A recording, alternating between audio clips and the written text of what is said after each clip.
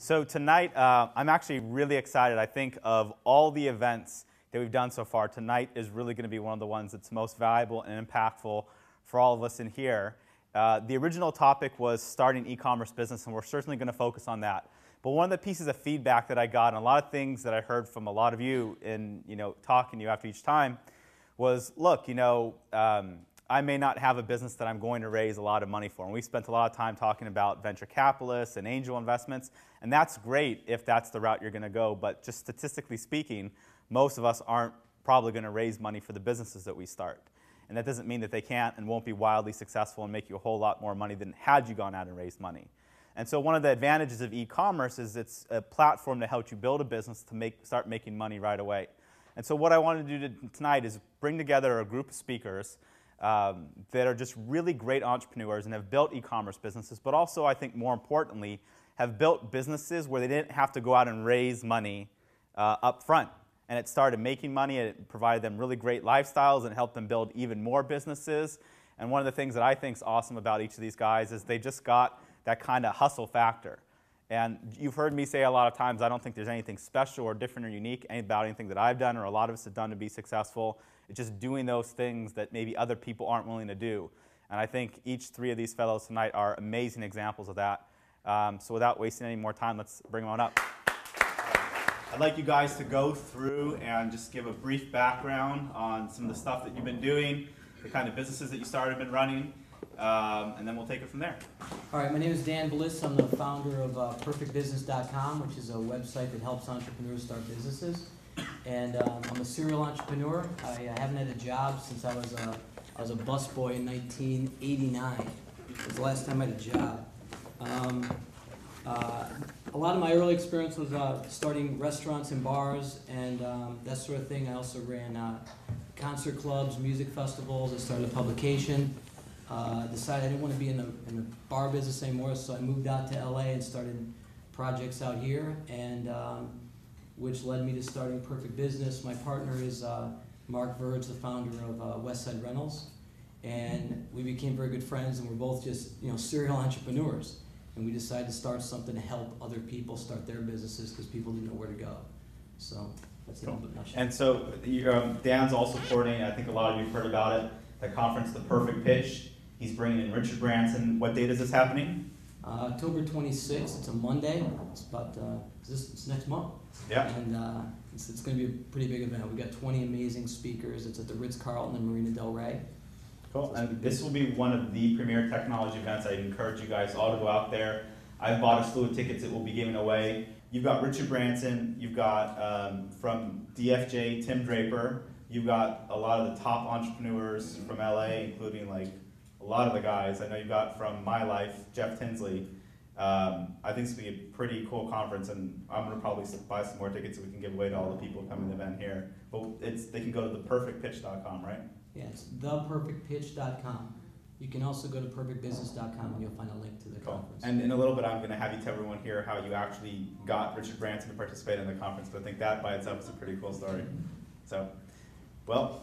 Uh, my name is Wil Schroter. I'm the uh, founder and CEO of a new company called Affordit.com. Uh, what we're doing at Afford is we're taking the price of items for sale, like a, uh, an Xbox or a PlayStation, and selling them for weekly payments. So it's essentially a microfinance play on the web. Uh, my background is I started one of the first web design companies back in '94 called Blue Diesel.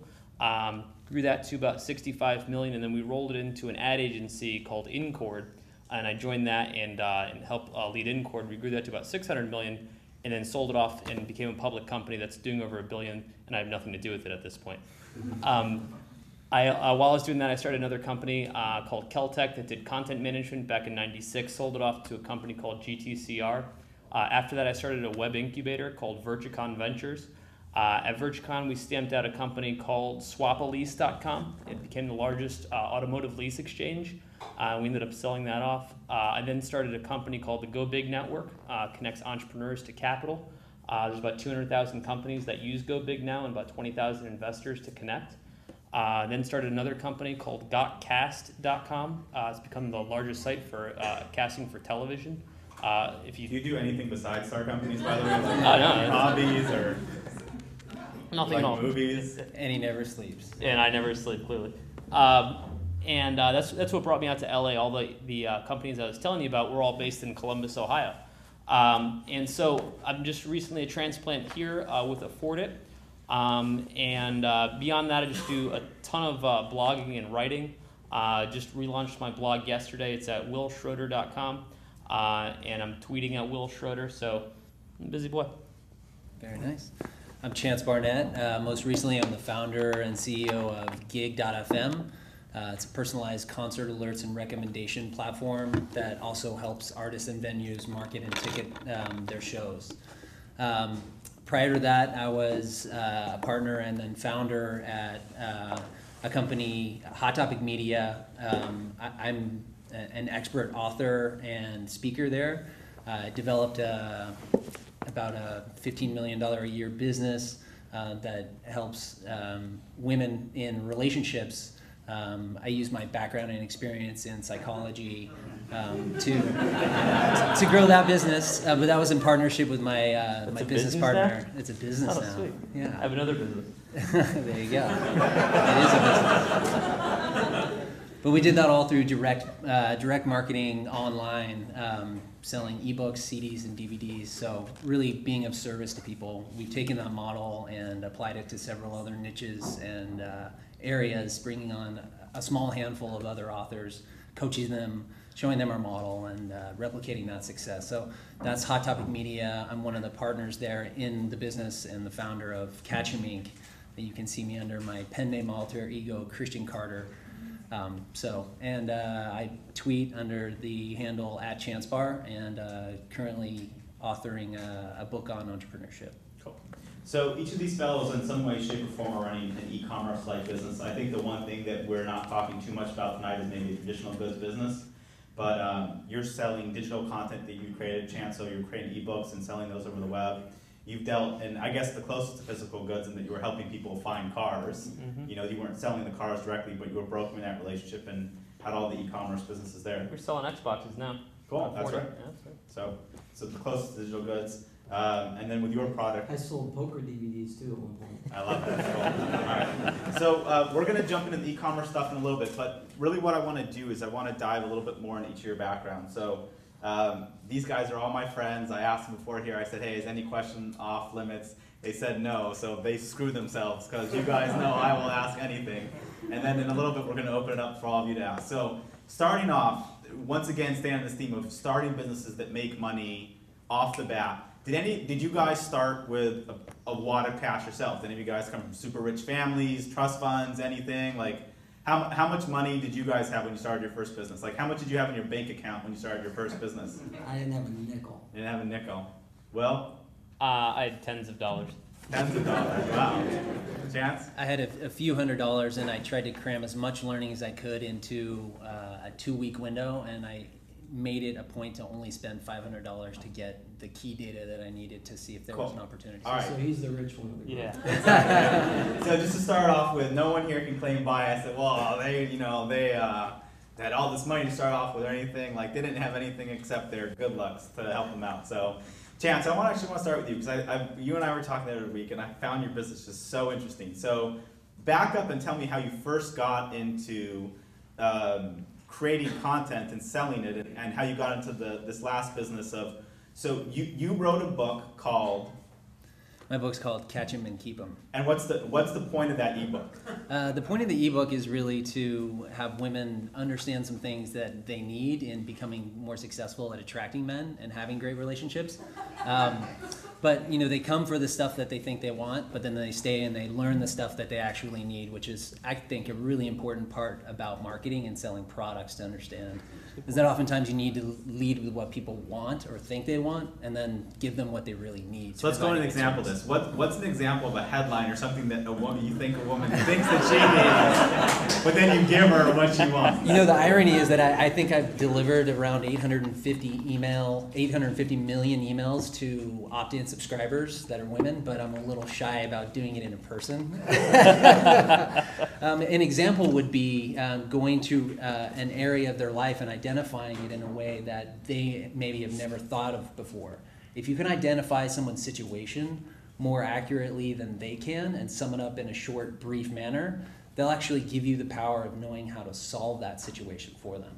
So it's really profound what you can communicate in a subject line to someone, and a lot of us take that for granted. And other direct marketers who understand this know you can two times, three times, ten times your response rate just by coming up with a better uh, subject line on an email, for example. All right, so going back to starting out, how did, how did you first get into this business? What did you first create and how did you first start making money, not having a lot of money to start off with? Good question. Well, um, I, I- I spent eight months writing my book and doing a lot of research. But once I had that, and, and actually way before I even had my book finished and launched it, I, I wanted to build my product not for myself, but I wanted to build it for my market.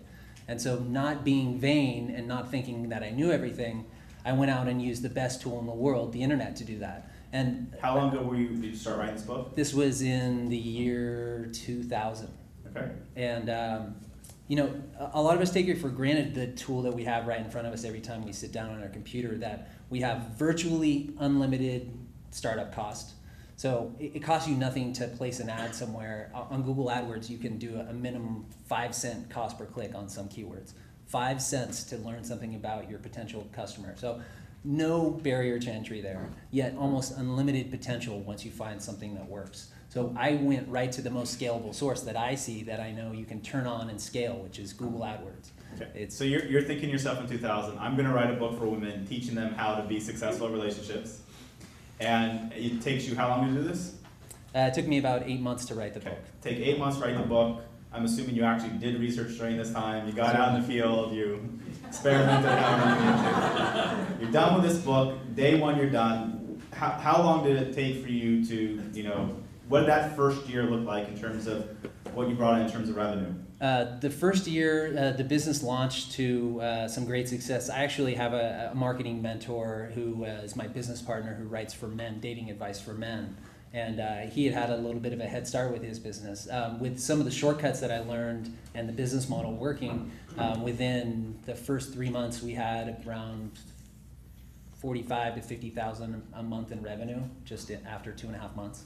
And was that mostly through email lists? Was it through buying traffic? Was it a combination of both? So our, our model was, you know, if you reverse engineer it, a lot of people mess it up because it looks too simple to work. But if you're willing to create content that's of value, that actually adds value to people's lives, our model is pretty simple. It's um, find a target audience that really matches what you're doing through keywords.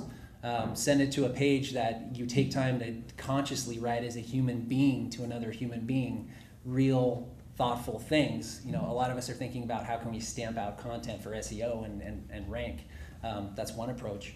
Um, but how can you have something that will wow someone based on what they've been searching for in that moment where they're alone on their computer and no one else is around and they type in this really sensitive term like uh, how do i get my boyfriend back for example that you can learn a lot about someone from what they're telling you but a lot of us aren't paying attention when we're being copywriters or marketers or advertisers we're taking that for granted and we're trying to And so you're buying hundreds, if not thousands, of terms like "How do I get my boyfriend back?" You're taking them to one of these classic long landing pages that scrolls down the long. Our landing pages are, are relatively short and to the point, telling them what they're actually going to learn, and then we convert them to an email subscriber. So, So your goal is to get someone from the traffic that you're buying into a short page, get them to an email, and then after a series of emails, you get them to buy the book that you wrote. yeah, so a very small percentage, less than 1% of our traffic or our subscribers who get in would buy on the first visit. Mm-hmm. But within 30, 60, 90 days, we would monetize that. But again, that takes real dedication and offering value via email. So those follow up emails that we have are, are now automated because I've written those for years. Um, around the products and, and helping women in their lives. And you were telling me earlier, earlier how many of these books, how many of this one book have you sold in the last? Eight Uh, you know, at last count, I've probably sold, you know, somewhere shy of a million at, at about twenty nine ninety seven a book. Okay, pretty good business. Congratulations. Thank you. All right, well, let's see if you can top that. Booyah!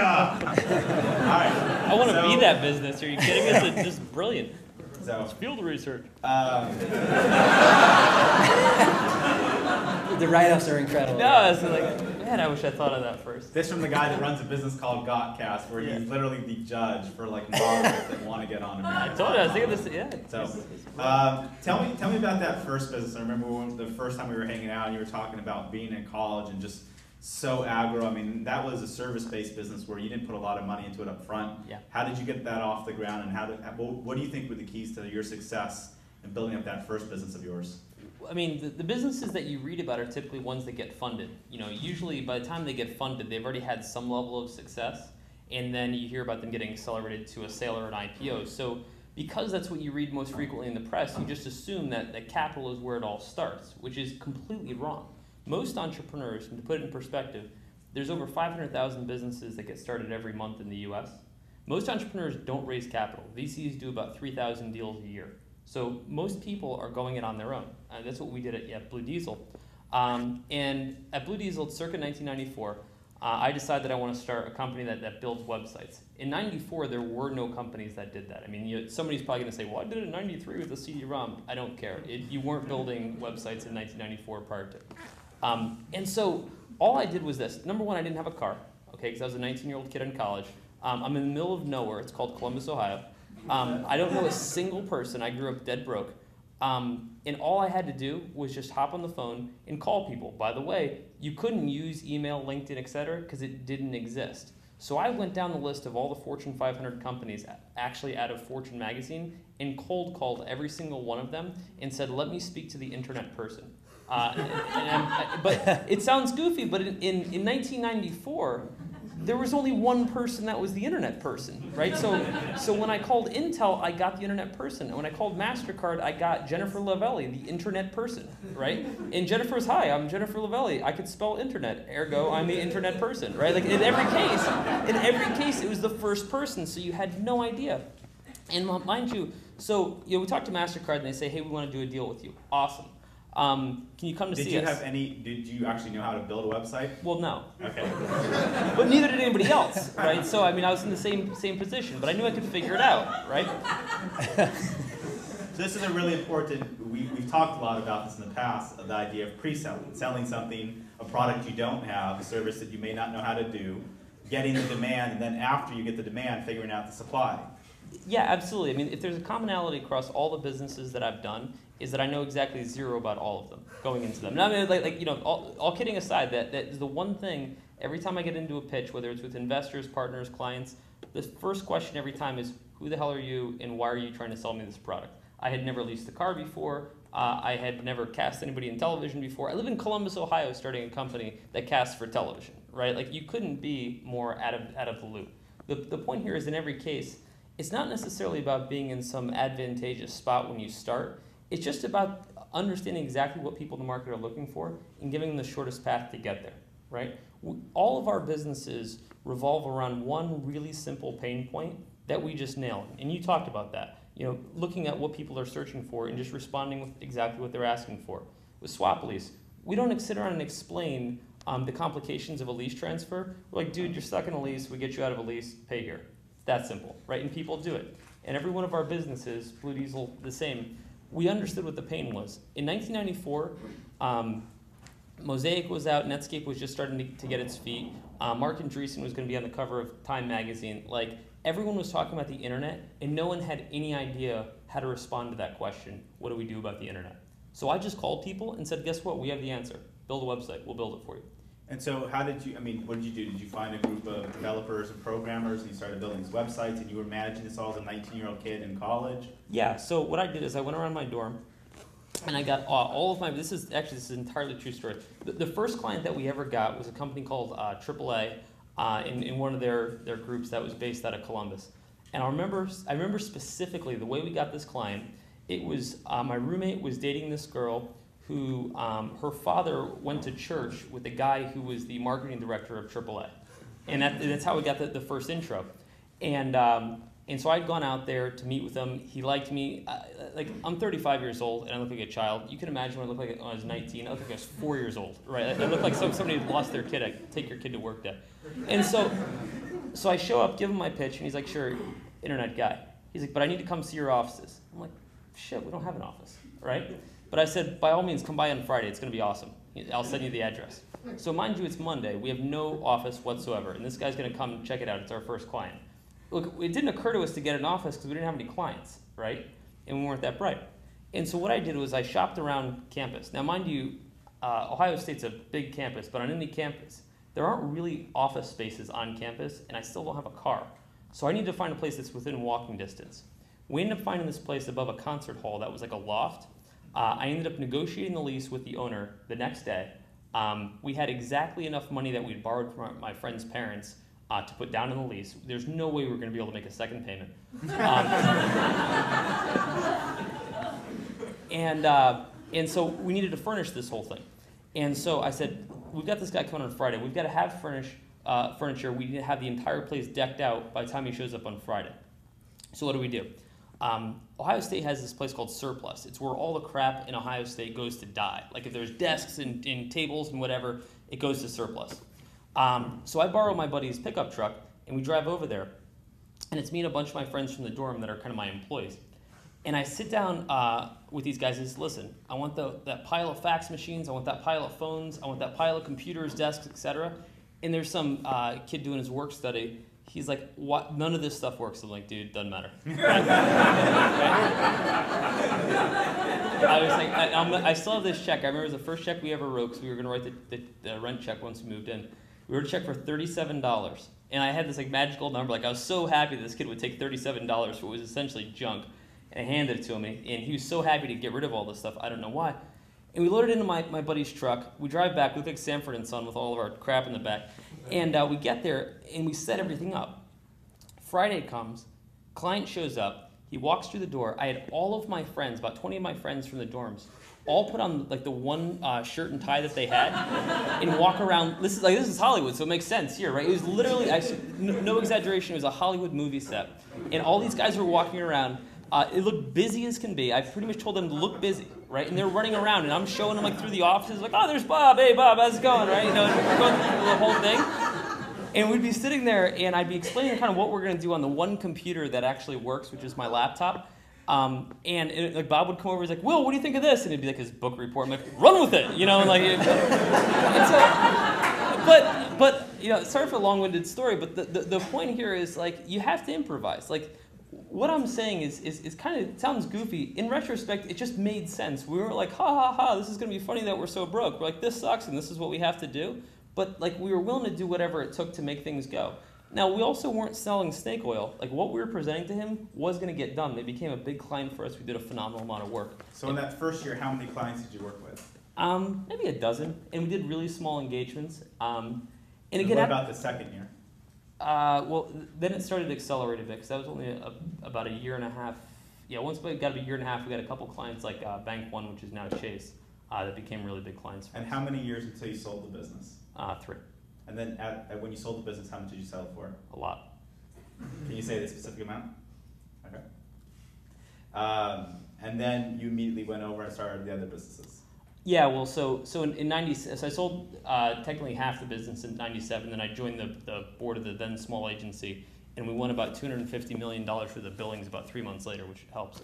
And uh, while I was doing that, I started a software company, and so I was running them both. One was in Columbus, one was in Cleveland, which is about two hours away, and so I was just working seven days a week. Cool. So the next question I have for you when we come back is, I think one of the things that Will does best and that I've learned a lot from is, um, we hear a lot about in businesses where you raise money, getting to scale and then figuring out how to monetize. And the question is, do you do something freemium where you give people stuff for free and then make money in advertising and, or who do you charge and how do you do it? And one of the things that Will's just been great at is he charges everybody. If there's a seller, the seller has a fee for a listing, the buyer's got to pay, and then they've got to pay double extra when the fee goes through. I mean, you just charge every which way combination possible, and from day one, even if those websites aren't doing a lot of traffic, they're bringing in money from that you know very first week, right? Is the camera on? Can I respond to that? Um, we, uh, what we do is we recognize that we have no idea uh, what our customers are thinking when we enter markets. So whether it's Swap Lease, Go Big, Gotcast, now Afford It, and we test every price combination possible. And we really learned this in at Swap kind of circa 2002, 2003. It's kind of the dawn of performance marketing with CPC, CPA, where you're spending a fixed amount to send somebody to a page, and the conversion of that page was your business, right? Your product behind it didn't matter if, if people couldn't make it past that page. Initially, we thought people would buy ads on Swap to list their car for $19, a one-time fee. And we were so happy if they paid that. Uh, nowadays, if you go to Swap Lease, y- you pay anywhere between 100 to 150 dollars for the exact same ad. We tried every possible possible price point from twenty dollars to probably God north of eight hundred dollars on our landing pages uh, because there's one thing you cannot afford to guess at, and that's pricing.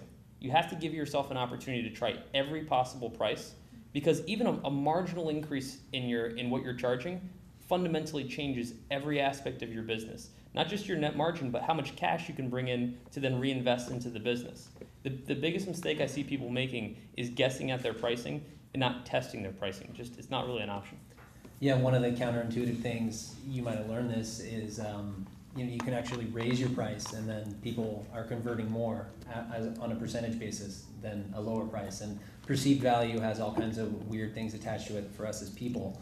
Um, so a great example of that is what you're talking about, and and then those things can also affect the back end of your business. Do people come back and buy again based on that perceived value? We have the same pricing strategy that we use every time. We have the, um, it's so low that if you were going to use this service at all, you'd at least pay this price. The, it's so high that you're an idiot if you pay this price, but it makes the other price seem small. In the package in the middle, which incidentally is what, what anybody pick, or what everybody picks no matter what you charge.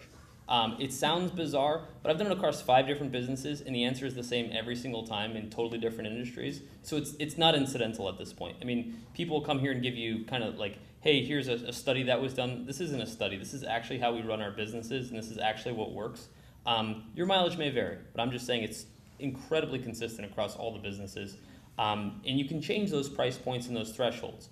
So maybe you think that people should be paying twenty dollars uh, for your product. Cool. But there should also be a price point that's two hundred dollars, and you make up whatever that package might be. Maybe they get a date with you. Um, uh, maybe it's much higher than two hundred dollars. Sorry, Thanks, Will. yeah, price you out of the market. And then there's the middle point, which is kind of higher than, than what, what option one would be, um, but not nearly as bad as, as option three. Um, and that's really where the core of your product lies. And if you look at enough pricing models right now, kind of your typical three bar graphs, usually one includes free, um, that's ultimately what you're seeing time and time again. And there's a reason for that because, because it works. Well, we, we did a lot of testing too with, uh, with Perfect Business, and we, we started as a monthly subscription. And we realized that people didn't want to commit to that as a monthly thing for transactions. And what, like, can you explain just for a second what Perfect Business is offering for those folks that haven't seen the website? All right, well, when, when, when we started Perfect Business, we, we had, you know, um, we had some thoughts about getting into the uh, uh, social networking landscape. Obviously, Web 2.0 was really hot when we first conceived it. And, um, and so we started, at, you know, we started as a freemium model. We started as a freemium subscription model. And um, as we were doing it, we tested different price points, of course, and um, even different price levels. We had gold, silver, and basic, and, and different things like that. And then we realized that I think, and I, I think a lot of you can relate to this. You sign up for a website and it's subscription, like, oh, that's gonna hurt because I'm gonna sign up, I'm gonna forget about it, and and then down the road I realize, oh my God, look how much I paid, you know, and it costs you a lot more. And we realized that after talking to a lot of our members, because again, you have to understand, you have to talk to people.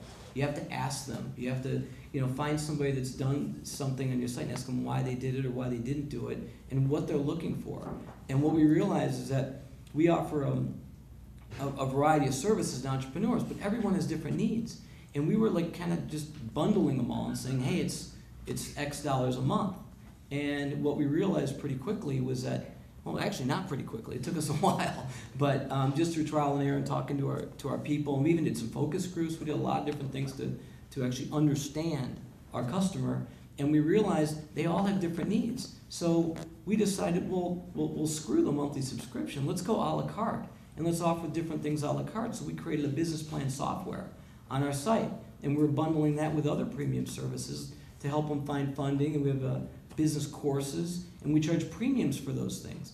Well, somebody might want a course on on PR, let's say, but they're not interested in getting funding, and maybe they're not interested in writing a business plan. They want they want help with PR, so you know that they might buy that a la carte. So so just through trial and errors, we've we've figured out you know the the proper structure, and and we're still testing. We're always testing.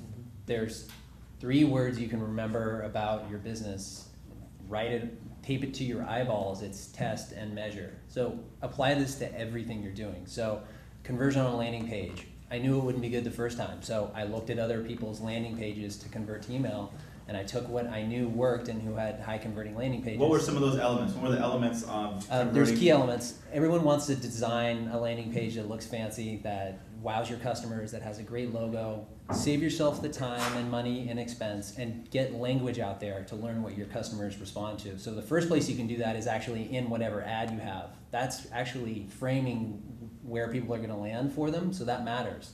A lot of times we talked about that the ugliest conversion, the ugliest landing page is converted the best. I- If you, I guarantee you, if we sat down and I put my computer and I pulled up my site and my marketing for you right now, you'd go, "Oh, dude, I know a really good web designer. Let me, uh, let me give you the card." And everyone does that, and, and it's funny now because I wait to hear it. Um, but our landing pages and for our company, you know, we've replicated this model in a lot of ways. It looks like some 19-year-old kid took it and wrote a headline. It has no fancy design. The point is that it has no distractions, and there's only one decision to make, and that's either you're giving us your email address or you're not.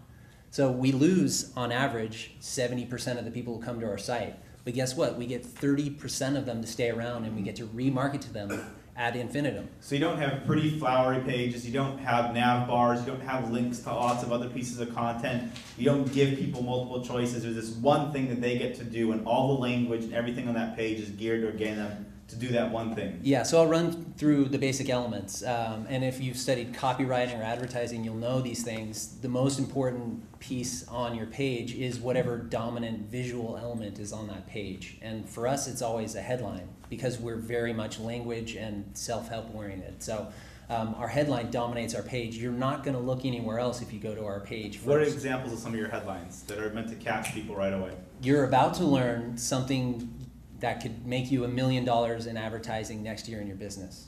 That would be my headline for this crowd. You're about to learn how to start a business without raising hundreds of thousands of dollars and keep all the equity in your company. Okay, now you really got me thinking. Okay, what does this person know? So that's my headline, and that's the dominant visual element. Now you have me framed for something that is for me. Um, the rest of the page is really simple. You want to demonstrate value. So the language or the names that you use for your ideas or the concepts that you're talking about really communicates something subtly about who you are and if you are really of value for someone. So if someone's coming to Docstoc, the language on your site should say that it's not just some company that's throwing up documents and thinks they're cool. You should demonstrate some expertise and that there's people who know what they're doing talking about the documents that are there or referencing that there's experts. So not It's only like having a document mascot yeah. dancing around, like, because you'd be you'd have to be a badass to have your own like mascot that's a document. Clearly, Uh, I don't know about that, but sure. Um, so that's one element, de- demonstrating expertise, and you can do this in subtle ways by things like naming or how you phrase or frame things. Um, so the other elements that are really important on a landing page are, and people, I can't believe that people get away from it, a call to action. So one of the things that most people make the mistake of is not giving people very explicit, simple one-step instructions online. I'll say it again, one step at a time, single instruction, do this here now. I, it, it's the, the biggest mistake that I see people make We're, is, we're a big fan of big red buttons. there you go. And it says sign up free here. And or- so, as far as selling your book, do you deliver the book as an automatic download or as an email that it comes to them, or both? Uh, our book is uh, a download once you buy and it comes to them. Uh, but we've tested a lot of different offers. We've tested a portion of it as uh, a PDF giveaway, so more of a freemium type thing. We've tested videos on the front end. And is someone just putting in their credit card right then and buying it, and they say submit, and then the doc, the document starts downloading, the book well, starts downloading? our model is if they come to a landing page, we'll convert them to email. Then we have So yeah, let's let's walk from this beginning to end because I'm assuming there's some other folks here that part of your e-commerce or digital products. Mhm. So um, from the beginning part of buying the traffic in to getting somebody an email page, can you just walk through each of those steps pretty quickly, ending with the commerce and the receipt of the actual purchase of the digital good? So how far do you want me to start? The person online searching all the way to yeah, sale? person online searching all the way to point of sale. Okay, so that's exactly the formula you need to think through. Who is the person sitting home alone who is searching for something and what are they really looking for? And that will lead you to the right places to start to identify your market. Who is that? And that should influence your landing page. So we were just talking about the landing page. Um, do yourself a favor though, as you're developing your landing page language, use things like Google AdWords to test ads, even if you're not capturing conversions or selling to test headlines there. Um, uh, Tim Ferriss in uh, I don't know why I wanted to say that you're Tim Ferriss right now. You kind of look like him. Um, in the four day work week. egg-shaped head. Thanks a lot. Yeah, great. Okay, maybe I did. No, because you're smart. Alright. Um, he talks about this that he had a couple different names for his book, and instead of thinking he knew the na- right name for the book, he actually went to Google AdWords, turned on an account, and tested and spent three hundred dollars seeing what got the highest click through rate, and he found that four day four hour work week worked the best, and so that was the name of the book. So do that for yourself. Do that because your customers will tell you. So what are some of the other keywords that you're buying besides what do I do now that my boy? What was the keyword that you threw out there? How to get my boyfriend back. How to get my boyfriend back? What are some other ones that you're buying? Uh, well, we probably bid on 100 to 250,000 keywords, depending on how much we want to spend, what if level of efficiency we want in our company, and then we look at our company in terms of vintages of leads. So if we're bidding a lot for less qualified terms, people that might not be exactly urgent or in a tough situation in their relationship, um, we're going to get some conversion from that, but there's not going to be, many, be as many buyers coming over the next 30 days from that group of people because they were less qualified. So you're buying a whole group of keywords where there's some sense of urgency and a pain point around it. You get somebody into a landing page. The whole purpose of that page is just to get their email. So you're saying there's nothing going on that page except e- uh, you know you know you're going to lose 70% of them, but capture 30% of those emails. on average. Then you're gonna then you know that you're gonna send them an email, and within the first 30 days, 60 days, or 90 days, there's a what percent chance that that group's then gonna go through and actually buy the book? Uh, we're going to follow up with them. Uh, we've tested three times a week or two times a week. Um, we've stuck with three times a week just because we like. So you'll send them three emails in a week. Three emails in a week, but And what percentage of those people unsubscribe? uh, yeah, in the first week there's about an eight percent subscribe rate, but I, I see that as a funneling process to identify Absolutely. the people who are the real leads, and then you also don't have email spam problems. So you can send somebody for a month, three emails a week. You for three months straight, three emails a week, and you're, you're gonna only lose what 10, 15 15% of those folks? Yeah, and the most common success story I get, I get literally hundreds a week from women emailing me saying, uh, you know, I signed up, I was like, what is this site? I don't know if I trust it, I don't know who you are. But then I read, and on my first visit, it didn't seem like for me. But then I started getting your emails, or, or some women just get signed up, or their friends sign them up, and I think, and they say, for some reason, I'm getting your emails, and they bug me. But then I started reading them. Wow, and you know, it's 30 days later, and I bought your book, and I'm really glad that I did. And let me share the story of what's happening in my relationship. So what percentage of the folks that get your emails actually buy your book? Uh, over first 30 days, it's kind of sensitive marketing information, but uh, I would say over a 30 day period, we're looking at one to two percent around there for for the, the paid search channel. And then there, the final step is if they're going to a page, they, can you describe that final page where they buy the book and how that works? Sure. So uh, once someone converts on our email conversion landing page, they're taken to that long form sales letter. And if you look at that and it's not for you, or you're not in that place in your life where you went online and typed into Google, "How do I get my boyfriend back?" then that sales page isn't for you. So when you look at it as a business owner or marketer, um, or, or as someone who's not involved in that, you would never read it. But when you're that person, you want to know all the things that are going on there. You want someone to walk you through why this is important, to, to show you proof, to address the objections that you might have to actually buying this in the first place. So the sales letter accomplishes all of those things, and I, really have a formula for those things. I have 10 other products too that are CDs and DVDs. Um, but in short, again, it's the same formula. Have a, a headline that grabs their attention, frames what this is really for and what it's about, and then gives proof, and then actually gives away a lot of value.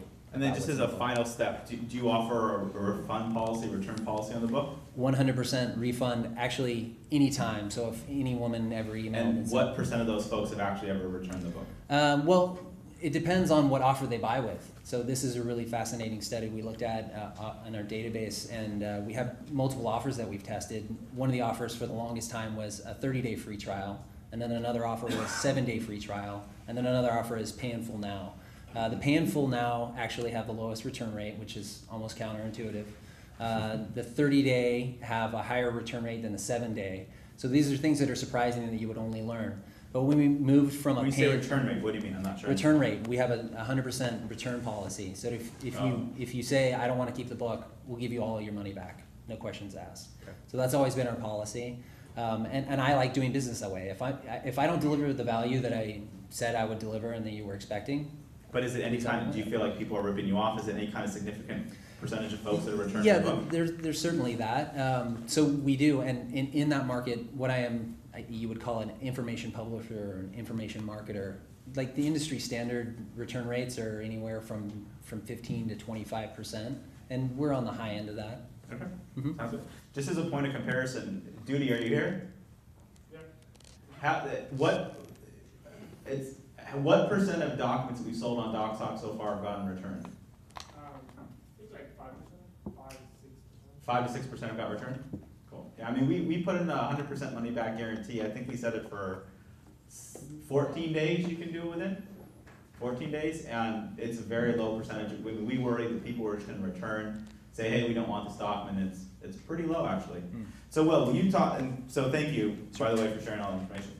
Uh, Wil, will you talk about some of the e-commerce businesses that you started and the differences between them and maybe some that were more in physical goods like you're doing now uh, versus a digital, you know, offer or service and what you found to be some of the main keys to success in your e-commerce businesses. The other thing I think that would be really helpful is um, you had an incubator where you were building companies and how did you actually build the e-commerce? Did you use outside third-party platforms and plug them in? Or did you always build a custom solution from the ground up and how hard and expensive was that to do?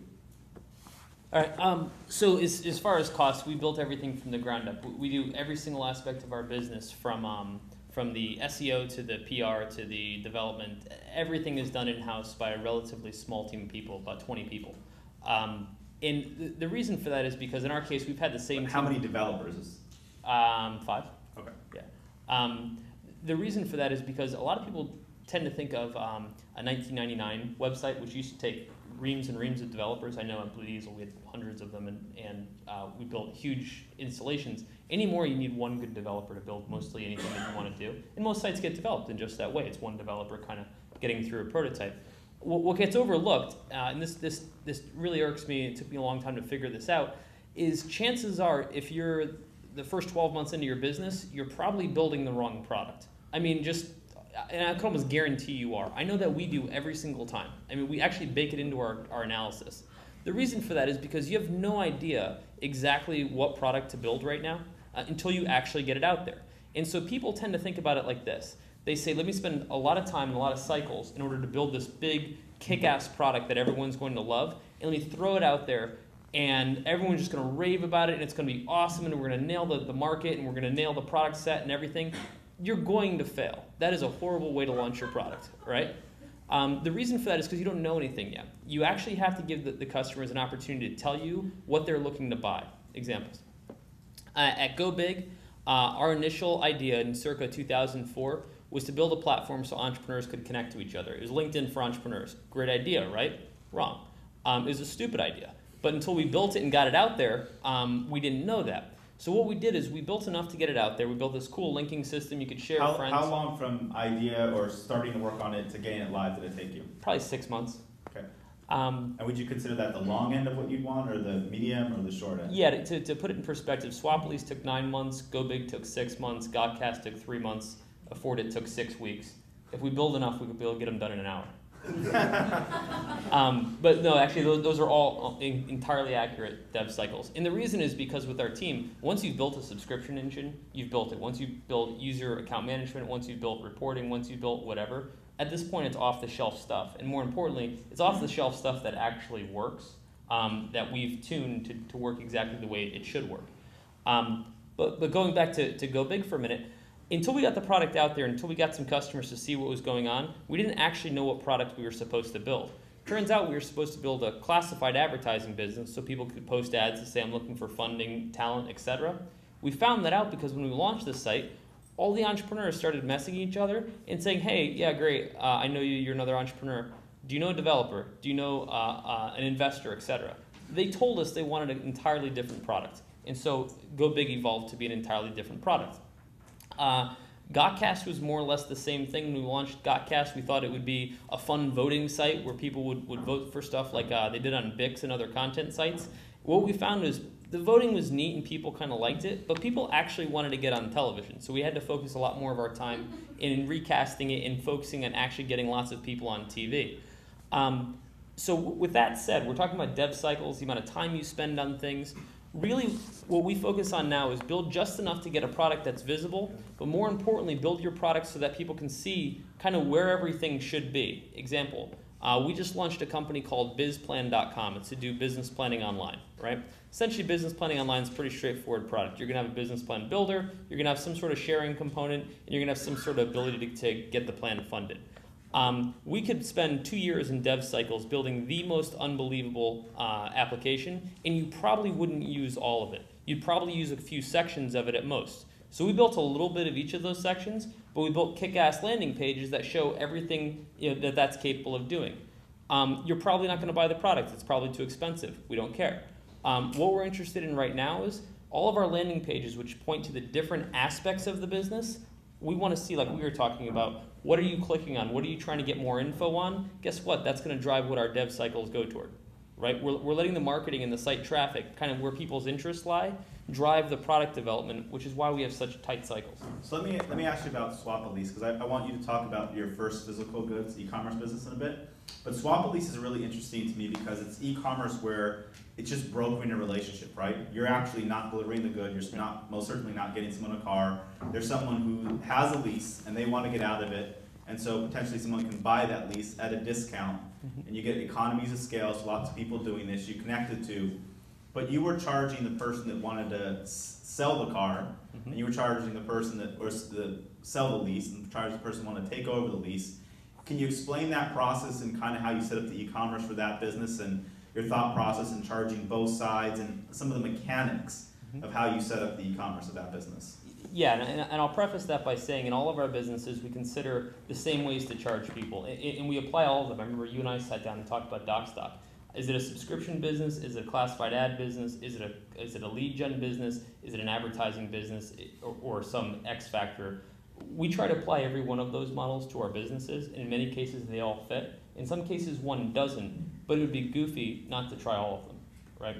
Um, and so at SwapaLease, kind of walking through the, this, the same model. Notice I didn't mention advertising anywhere in there.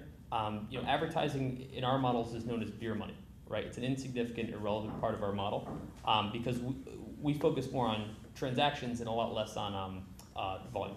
So uh, even before we get that, what what are some of the keys? this is a big deal. We spent a lot of time in these sessions talking about building advertising business. The last panel was on it two of them ago, and a lot of the raising money panel people are defaulting advertising. What are the keys to building an online business where it's transaction based from the beginning? I, think Chance nailed it. You have to understand conversion off a landing page better than anything else. Let, us just put this in perspective. Let's imagine for a second that SwapaLease, the site actually didn't exist, that all that was actually there was our Google ad, which we can go on and create in two seconds, a landing page, and a sign up page. And there was nothing on the other side of the rest of that sign up page. Okay?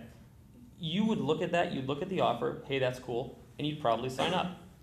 Um, now we build a hundred million dollar, most unbelievable Google technology. Mike Arrington loves it. Back end platform. You're still going to buy at the same rate. You see what I'm saying? Until you get past the, the, the paywall, you don't get a chance to see what's on the other side of the curtain anyway. So why am I spending all these cycles on the other side of the curtain until I understand how people are getting through the paywall and what the messaging is going to want to be, which backtracks to what the product actually is. Yeah, that's a really good point. Um, one of the things I did while I was writing my book is uh, I was doing testing on landing pages to learn and sending them to landing pages, and then I was getting conversion into an email list. And instead of sitting around and waiting for my book to be done and then marketing it, I wrote and shared the book as I was writing it to that email list. And by the time I had finished the book in eight months, I had a list of 40,000 subscribers who were instant uh, market, and my book was profitable day one. So one of the this things that goes you're- back to one of the first things we talked about, Yeah. that, that, you know, get the customer, get the customer and figure out what, what they are and how are you gonna get the customer. And once you figure that out, then you can figure, kinda like your, your, you know, some of the things you did. So before you ever had a product, you were actually testing the conversion of the product that was going to come. I, I, I'm, I'm overstating it to prove the point. There was obviously a product on the other side of the paywall. I mean, we're not total charlatans, but I'm just saying that, like, um, Total. total, should I, I emphasize total. Um, no, but uh, the product's never going to be what you want it to be. Like, like you get these guys that are perfectionists, like, oh, I don't want to release until it's the most unbelievable product ever. Well, great, but first off, you're probably going to build the wrong unbelievable product. And second off, once you do, we still have no idea whether anybody's going to buy it. Um, so you need to build enough that the product's viable, um, which is usually a much tighter uh, feature set than most people give credit for. And, and on a point there is, most sites, uh, all their value comes from doing one thing right. SwapaLease can have 6,000 features, but all you care about is connecting a buyer and a seller, which is essentially a search process. So, right? so talk about this, because I, I just briefly, and then I want to go on to Dan and let him uh, talk about the physical goods business he was doing.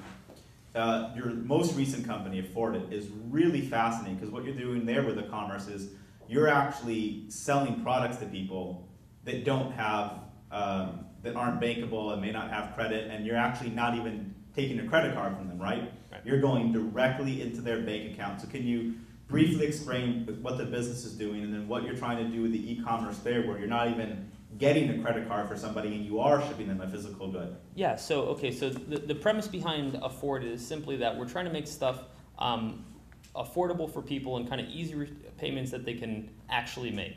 So a guy comes on, he wants to buy a PlayStation. Uh, it's let's say it's it's three hundred dollars. Uh, let's say it's three fifty actually.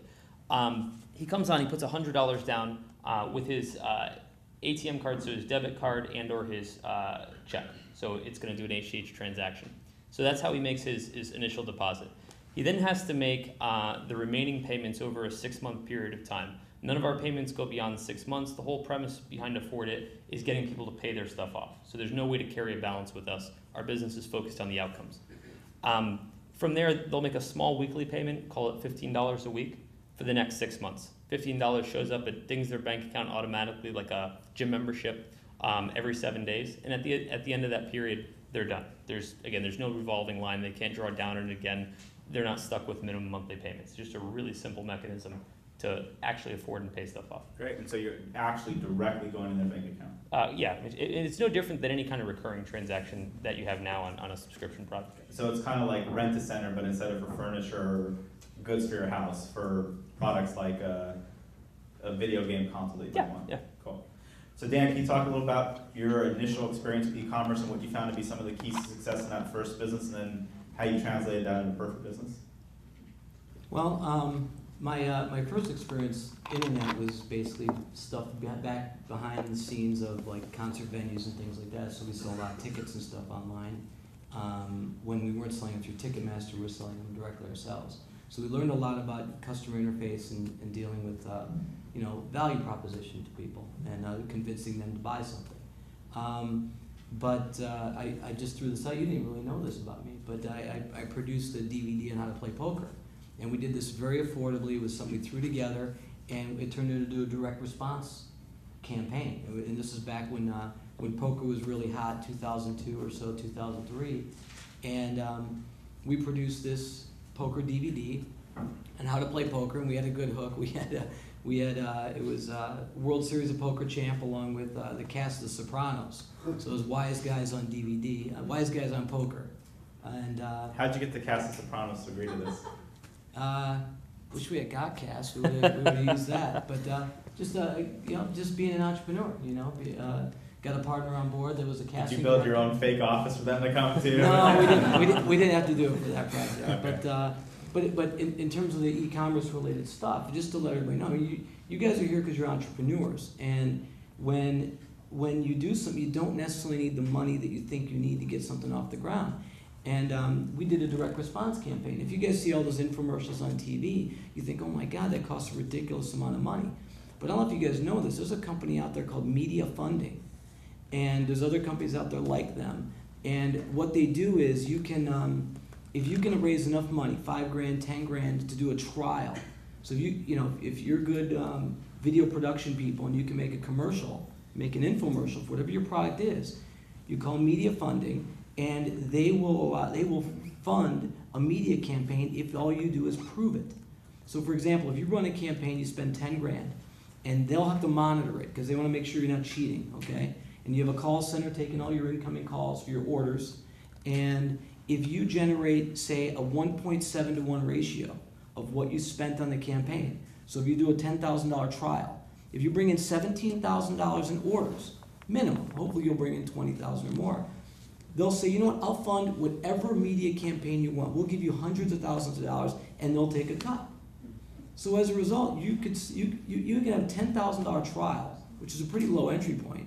And if you've got a camera and an editing editing equipment, you can produce a video. Let's say it's that. And then you build a website, and then you do a lot of trials and experiments with your pricing on the website. You do the exact same experimenting on a direct response campaign. But there, there's ways to get you know an entrepreneur project off the ground with without a huge huge budget. You can have a half million dollar media campaign or something like that. And of course, that all promotes your website as well. So you're bringing transaction transactions on your on your website in addition to um, into your call center. Yeah, it, what you said brings up a great point. I forget who said it to me uh, four or five years ago, but um, and this might bum out some angels or VCs in the room. Um, but the rare thing in the world is not money. The rare thing in the world is a great idea that can be executed and is takes one dollar and turns it into a dollar fifty or a dollar seventy or two bucks.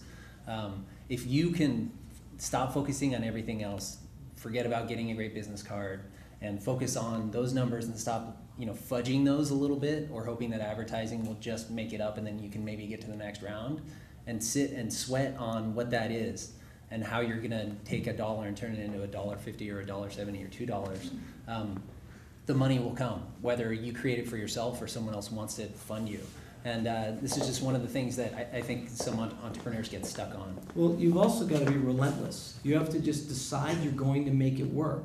And I think Wil made some good points here as well in that, you know, when you're working on something, you have to decide it's going to work. And just say, look, I don't know how it's going to work, but I'm going to do trial and error and trial and error until it does work.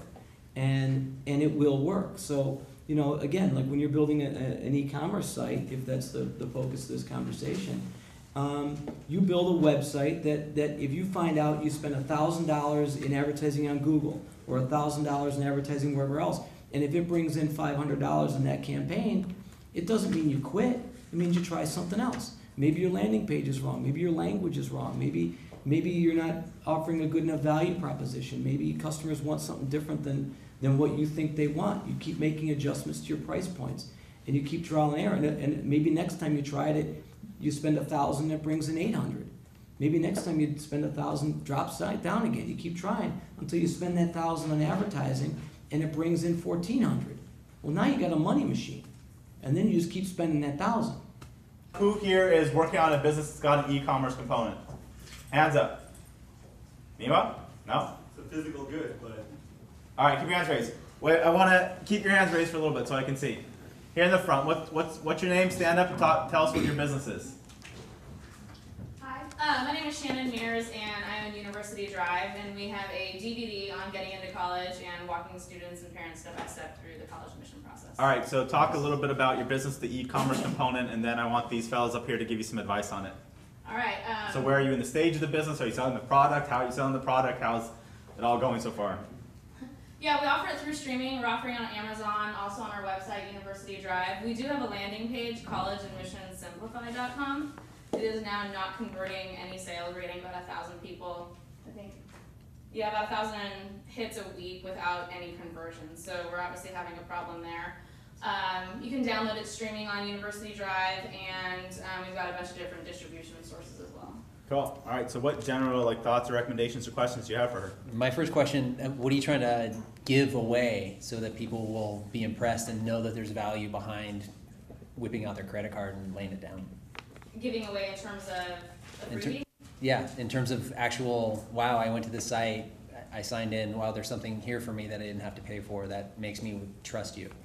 Um, yeah, we're giving away episode one, which is, you know, why go to college? And so we're sort of offering the dream of going to college. And so our whole concept is tapping into that pain that every parent is awake at night wondering how I'm going to send my kid to college, and the kid who's, you know, how do I get into Harvard? How do I get into Princeton?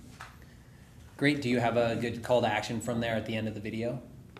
At the end of the, on our website, Yes. there is not a call to action on episode one. Okay, so uh, again, the first thing I always see is uh, you work really hard, you think about what someone else's situation they're in, their problem, um, and then you offer up a lot of yourself, but then you don't ask for something in return. So make sure to ask, and it, for a lot of people, if they're not used to selling, it takes a while to do it with integrity and where it doesn't feel kind of scummy.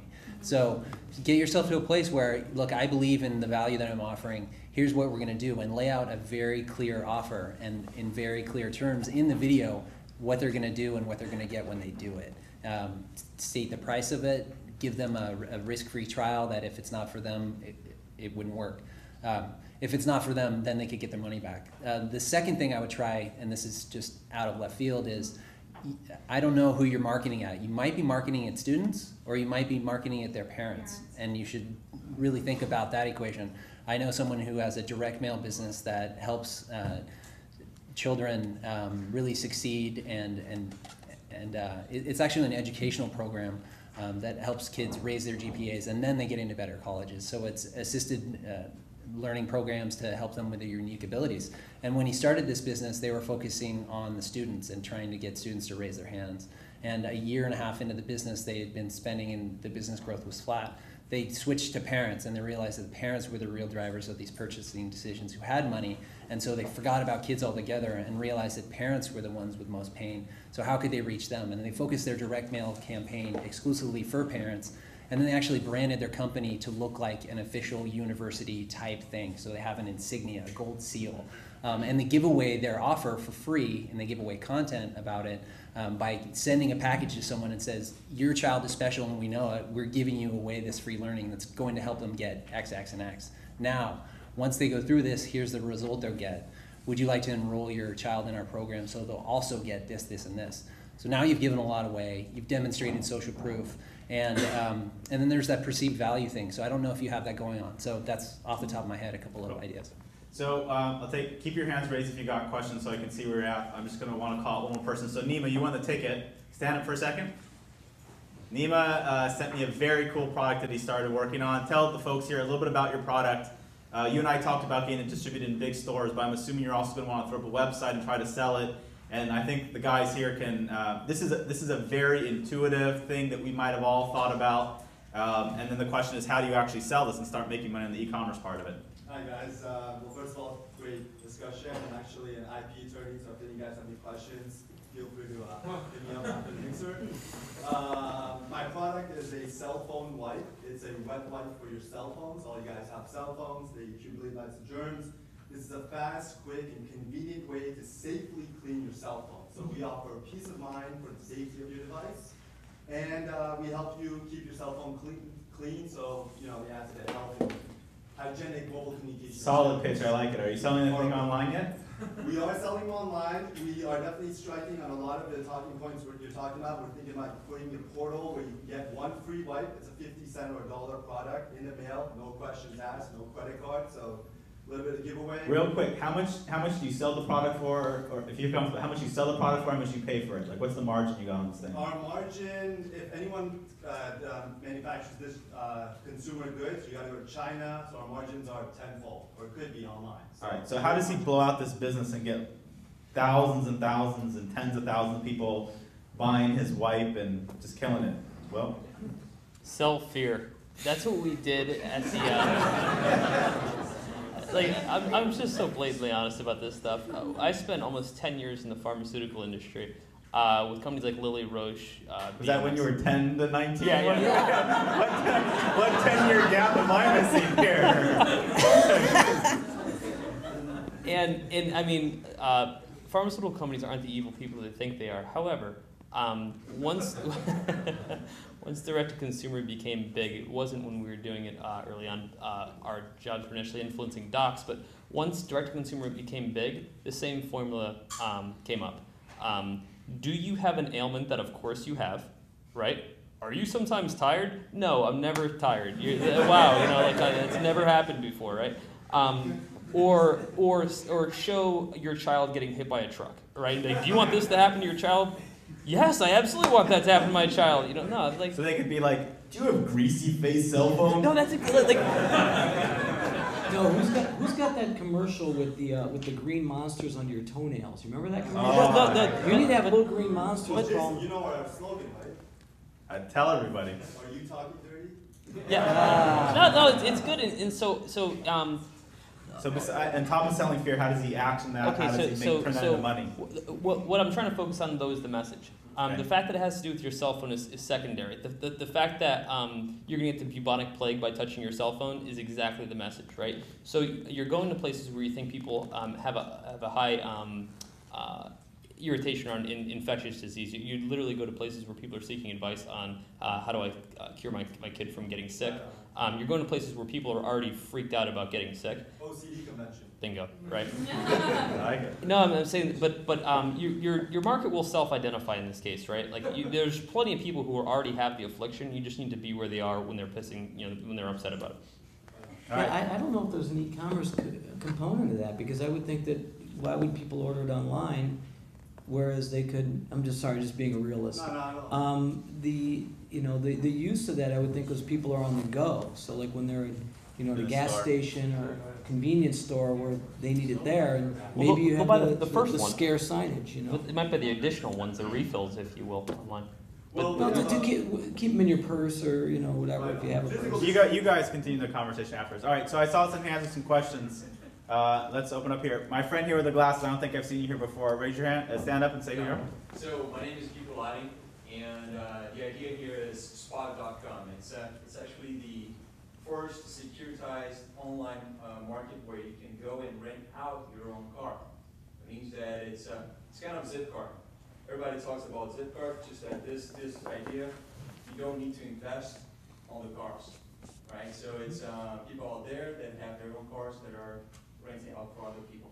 So the advantage of this business is lower prices because you're short circuiting all the inventory. So just so I know ahead of time, are you are you talking about your business in general for them to give you feedback? Do you have a question? The question that I have here is that for people to rent out their own cars, it's a pretty involved idea.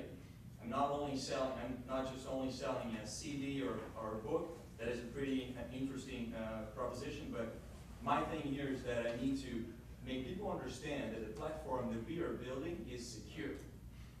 And uh, I'm not sure we fully understand how we're gonna, we're gonna do that in the future.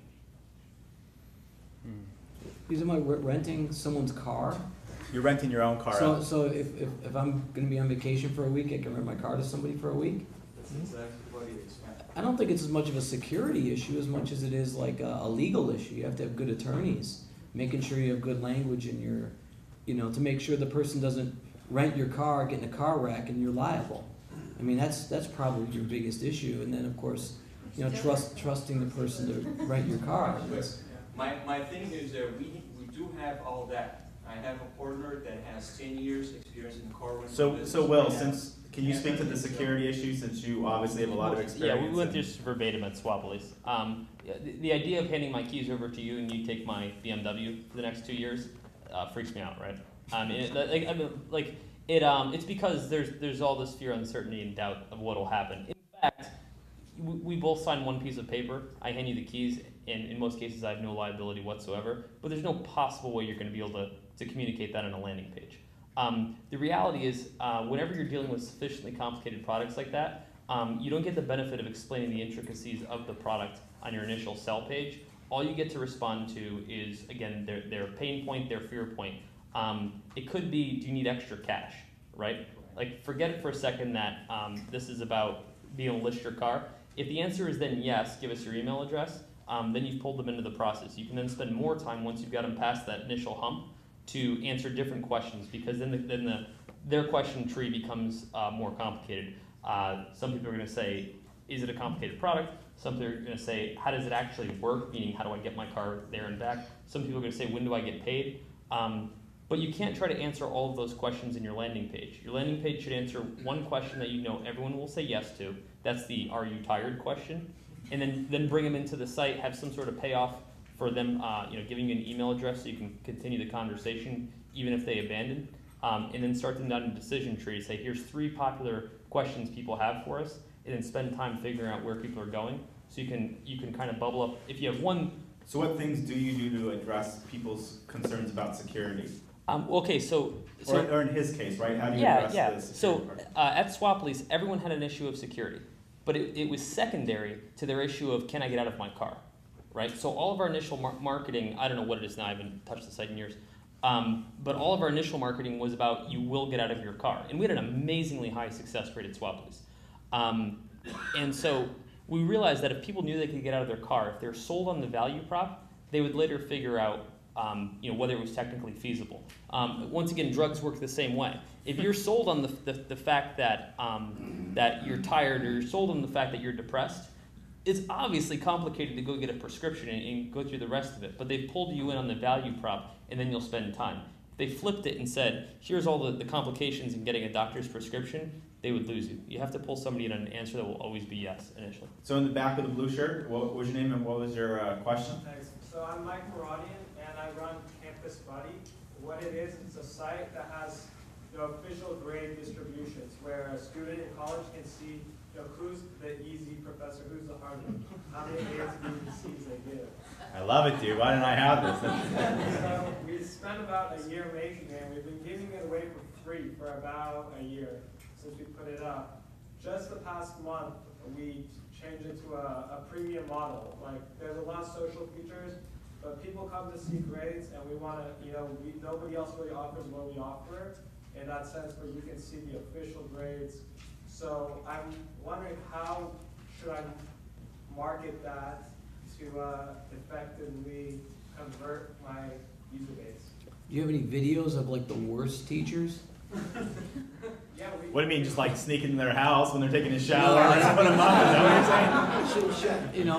What kind of videos of the teachers? No, exemplifying the teachers you want to avoid. Okay. Um, You know, ma- make people reflect on that. You know, the worst teachers they've had, and just imagine how miserable they were sitting through class every day. And so are you asking the best way to monetize this business? yeah, um, how should I draw them in, basically? I'm most specifically concerned about the, the one, two, three pro- process of, you know, should I go on Google Ads? I mean, I have emails for these users. How, how should I go about, um, converting at a much higher rate?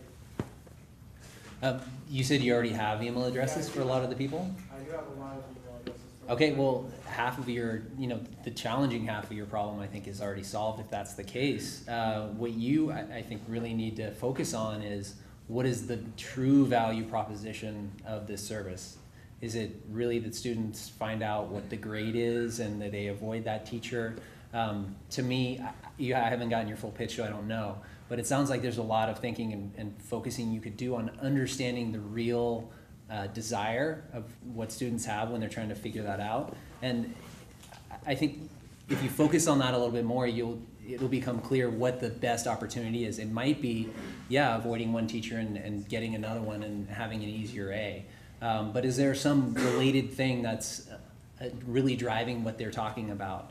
Um, and if you're going to charge this as a subscription service, um, I, I think you're really going to need to focus on that. So I, I feel like I'm uh, telling you your problem and not a solution right now. One of Um, the things you may want to try to do also is you're aggregating data.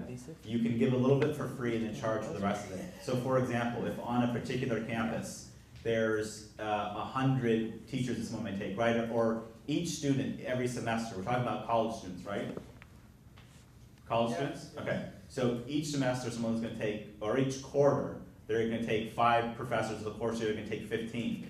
Perhaps they can come on the site and then for free, they can see the grade distribution for one teacher or two teacher, but for every additional teacher, they have to pay some micropayment, like ninety-nine cents. So you get to see two teachers that you search for for free, what their grade distribution is and how difficult they're rated, but then charge them for all the extra, so you give them a little bit of value up front, hook them, and get them to pay for something else. Cool? All right, so let's take about one more question for right now, and then we'll go through a couple announcements uh, over here in the blue, in the teal. Yeah. Okay. Um, I just was wondering how. Your, your name, the whole, Hi, my name is Joanna. Uh, quick question, I was just wondering how to get affiliates. There's a lot out there to be an affiliate, but I wanna know how to get your own affiliates. so you're saying you've got a product and you want someone to be an affiliate marker for you? Yeah. Sure, so, I mean, is anyone here familiar enough with Commission Junction to talk about that or things like that? And Chance, I'm sure you know a bunch. Um, first of all, affiliate marketers stick together, and I mean that literally because they're kind of gooey.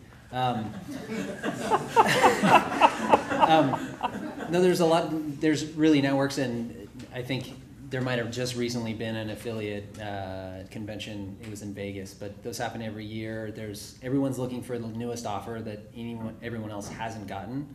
So if no one has your offer yet, that's part of your selling point that they could be the first to take it to market. And affiliate marketers generally have sources of traffic or lists or knowledge of keyword areas or they use Google or Yahoo or some specific search engine where they can dial up and get to work fast. So if part of your pitch in, in finding people is you can be the first to run our offer and not competitive, then that's that's a selling point for you. But it, I would really recommend um, going to Affiliate Summit. Um, that's one of the clear places to do that, and that's probably the biggest affiliate one. Um, there are the networks out there, Commission Junction being probably the, the best known. They're up in Santa Barbara. Yeah. Um, the challenge there is again getting attention for your offer. Um, the big thing affiliates just want to know is is this going to be a, a good risk for my money? They're putting up money to do what you haven't been doing, which is the direct marketing of your business. Um, so what does your offer look like? So I would take a long hard look at what is your marketing now? Do you have a good landing page and a good sales conversion process that's already set up? So it's just plug and play for them. Yeah, Um, and so Tony Canmore, just real quick for those of you that may not know, uh, if you have a product or a service where there's some margin on it, right? Let's say you're, you're, there's an ebook that you've created, and so you're selling for thirty dollars. Maybe it's a hundred percent margin. You know, you could you you might be willing to say, hey, I'll give you if you can sell this for thirty dollars, I'll give you twenty. I'll give ten. Maybe I'll give you ten. Whatever the economics are for you. You can go to networks like Commission Junction. You put in your offer. You typically with them have to give a three thousand dollar deposit, and then you what you do is you have to commit that you're going to have five hundred dollars a month worth of sales. It's basically, in essence, a sophisticated bulletin board where affiliate marketers go and look at all the different offers that people have, and then they can pick your offer. And if your offer converts well because you've got a good product and a good landing page, they'll use it and they can be generating money for you. Tony, anything you wanted to add or ask? Um, two things, Chance said an affiliate summit in a couple months, actually, in about a month and a half, there's PubCon in Vegas. And a lot of affiliate marketers go to that, so that might be a good investment, just to spend the money and go meet a bunch of people. Um, the second thing is figure out who in the industry is a big affiliate marketer for your specific vertical or niche. Cause, I mean, if you, if you guys have ever heard of Thesis, the WordPress theme, one of the biggest affiliate marketers that I know is, her name's Rae Hoffman. As soon as she started talking about Thesis, and as soon as she started putting the affiliate stuff together on her blog, every other SEO that was out there started doing it, and it blew up the entire theme. So the same type of thing will work for you. All right, so Also- um, we'll, Email me because I have a lot of contacts. that Yeah. I'd Yeah. happy to share. So real quick, are you, are you guys okay sharing some of your general contact information? How can people get a hold of you? Chance? Sure. Uh, Twitter at Chance Bar. Um, Chance what? At Chance Bar. My last name is Barnett, so it's B A R, Chance Bar. Um, and then my blog, chancebarnett.com. Mine is wilschroter.com, just W I L S C H R O T E R.com, and all my contact info is on it. Uh, my email's dan at perfectbusiness.com. Uh, my, uh, my blog is danwbliss.com, and, uh, and that's also my Twitter account at danwbliss. Cool. So uh, I think the three of you are just incredible examples of folks that, you know, without having a lot of resources to start off with, are real life proof that you can build extremely successful businesses that make money from day one. I've been very thankful for both all the knowledge that you guys have shared with us and just our friendship. And really, guys, thank you so much for coming out. If you join me giving them